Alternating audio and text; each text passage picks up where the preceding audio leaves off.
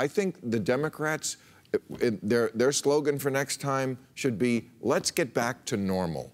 I think more than anything else, that's what people want. Boring, normal. Look, Vote for us, and you won't be scared to check your phone. Set me and there's no- forget me. That's, that is their.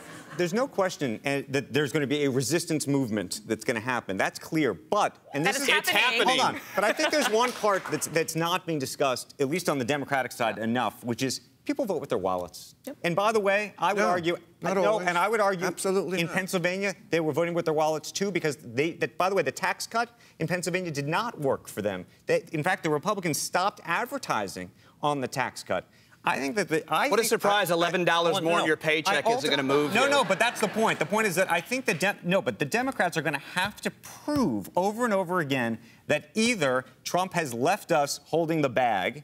Or that we are worse off today, or we're about to be worse off. That's the only way that this But I argument think- is actually going to work. But I think the coal miner who's been left behind and lied to and thinks his industry is coming back I is now you. waking up and realizing. I don't that think they've least- woken up just yet, but maybe. Again, No. we, we got a couple more months to get there.